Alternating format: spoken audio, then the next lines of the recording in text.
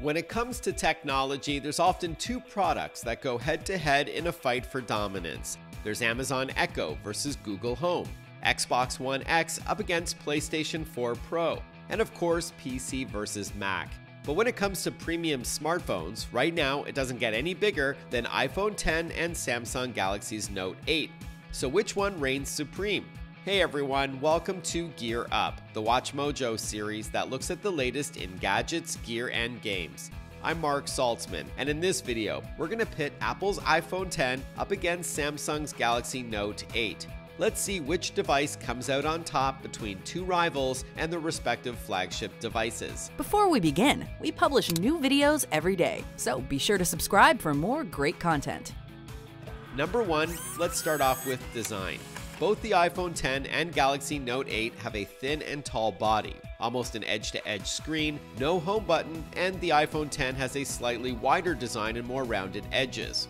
The iPhone 10 has that stupid notch at the top of the screen where the camera and some sensors are. Even though Samsung has an 83% screen to body ratio, which is slightly more than the iPhone 10's 81.5% screen to body ratio, Samsung does have bigger bezels at the top and bottom than the iPhone 10. Galaxy Note 8 is also relatively heavy at 195 grams, compared to only 174 grams with the iPhone 10.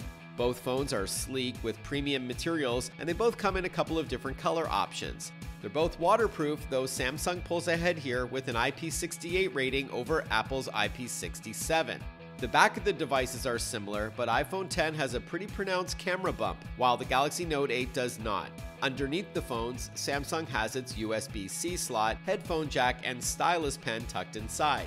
Apple loses marks for ditching the 3.5mm headphone jack, forcing users to go wireless or use an adapter to plug into the Lightning connector. Overall, on design, Samsung wins. Next up, screens.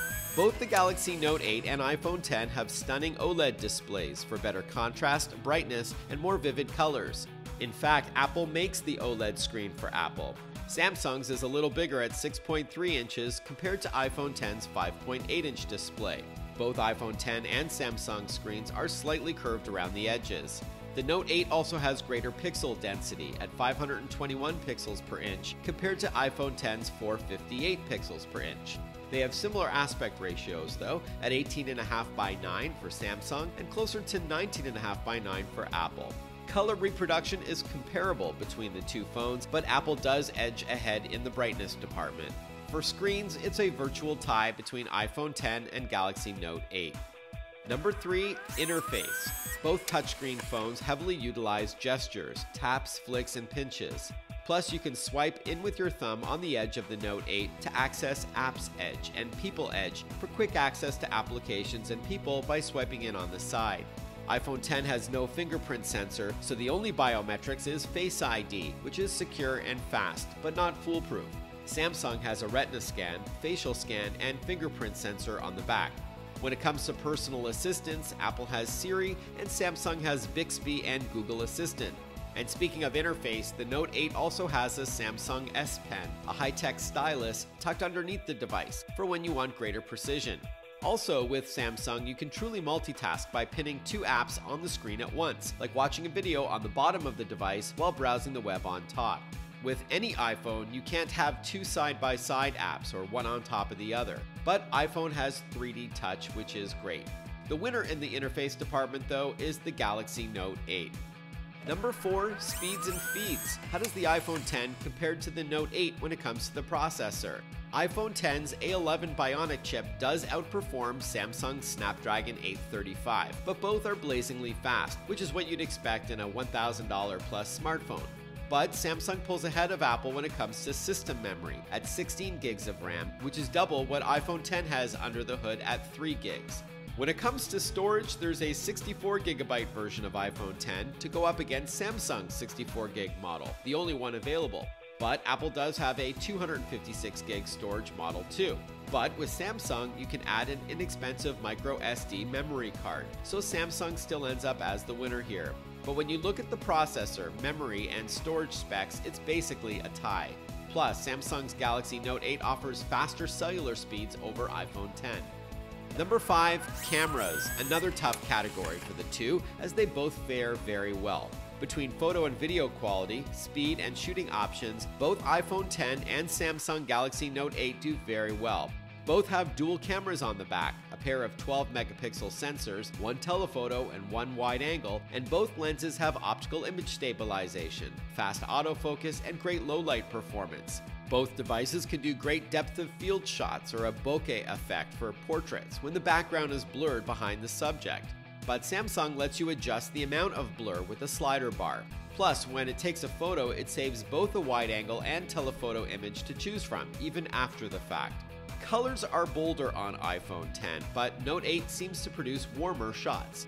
Both have high dynamic range or HDR support, and both can shoot 4K video at 60 frames per second.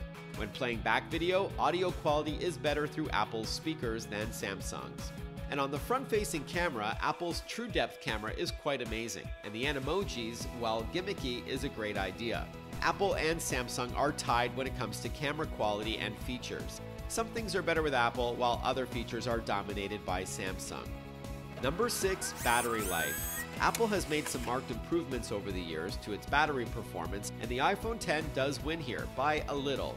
Even with Samsung's bigger battery, a 3300 mAh battery compared to Apple's 2700 mAh, iPhone 10 manages to squeeze in another 30 minutes or so, according to many benchmark tests by third parties. Keep in mind though, Samsung also has its always on display that shows you things like the time, power, calendar appointments, missed calls, notes, and more, but it doesn't consume much power. Both phones support wireless charging, but Samsung's device charges up much faster than the iPhone 10. When it comes to battery life, speed of charging, and wireless support, Apple and Samsung are tied. Alright, let's wrap up with a conclusion and declare a winner. It should be noted there are other similarities between these two devices, including number of apps, call quality, mobile payment support, and so on, and they do each have their own pros and cons. Even on the operating system level, Android has many benefits over iOS and the other way around. Any way you slice it, the Note 8 is the best Samsung phone ever created, while the iPhone 10 is the best iPhone money can buy. But when push comes to shove, the winner goes to Samsung. The Galaxy Note 8 is a better device overall, though iPhone 10 outshines the Note 8 in a couple of areas. Hey, thanks for watching Gear Up. I'm Marc Saltzman. Let us know in the comments section what you think about iPhone 10 versus the Galaxy Note 8. Do you agree with our winner? Why or why not? And for more tech-tastic lists, be sure to subscribe to WatchMojo.com.